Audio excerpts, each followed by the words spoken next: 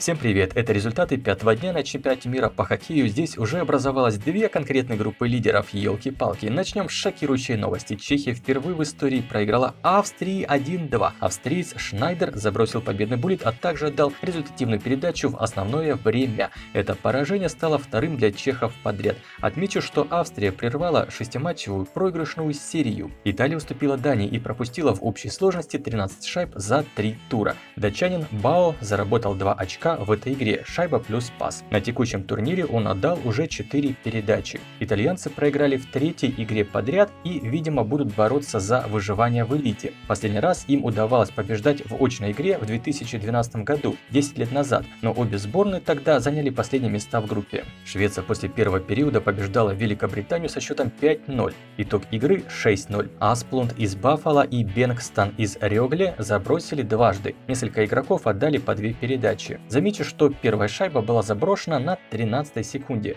Сборные встретились второй раз в истории. Год назад шведы выиграли 4-1. С учетом Еврохоккей тура, шведы одержали пятую победу подряд. Великобритания потерпела десятые поражения во всех турнирах. Один из лидеров группы А, Швейцария, обыграла последнюю команду таблицы Казахстан 3-2. Денис Мальгин из Тюриха отличился в третьем туре подряд. Сегодня была шайба в меньшинстве, ее автор Блэкер из автомобилиста. Швейцарцы продлили победную серию до трех матчей матчей. Казахстан проиграл 6 последних игр, 3 из них на чемпионате мира. Краткий итог дня. Италия, Дания 1-2. Чехия, Австрия 1-2. Швейцария, Казахстан 3-2. Швеция, Британия 6-0. Кто сыграет завтра? Франция, Италия, Норвегия, Австрия начнут свои матчи днем, а Швейцария, Словакия и Финляндия, Швеция сразятся вечером. Смотрим лучших бомбардиров и ассистентов. Дюбуа из Канады и Асплунд из Швеции забросили по 4 шайбы, ряд игроков отметились по 3 раза. Червенко из Чехии отдал 6 передач по системе гол плюс пас. Роман имеет 7 очков, 1 шайба и 6 пасов. У ближайших преследователей по 5 очков. Таблица группы А. Канада и Швейцария набрали по 9 очков. Между собой они еще не играли. Выше в таблице канадцы, поскольку имеют лучшую разницу шайб плюс 11. Кроме того, кленовые листья забросили больше всех шайб 16. В первую четверку входит Дания, Германия, имеющие по 6 очков. Напомню, первые 4 сборные попадут в 1 четвертую финала. Словакия и Франция набрали набрали по 3 очка. Италия и Казахстан с нулем. Команда Михайлиса пропустила больше всех шайб 14. Таблица группы Б. Швеция и Финляндия оторвались на 4 очка. Выше шведы, так как имеют хорошую разницу шайб плюс 10. Команда лидер по заброшенным шайбам 14. В следующем туре лидеры сыграют между собой. У США 5, у Чехии 4 очка. В трех турах чехи потерпели 2 поражения. Австрия и Латвия имеют по 3 очка, у Норвегии 2. Великобритания на последнем месте пропущена больше всех шайб 15. Ставьте лайк, если информация была полезной. Благодарю всех, у кого есть возможность нас поддерживать. Призываю смотреть нас на Дзене и других площадках. Услышимся завтра.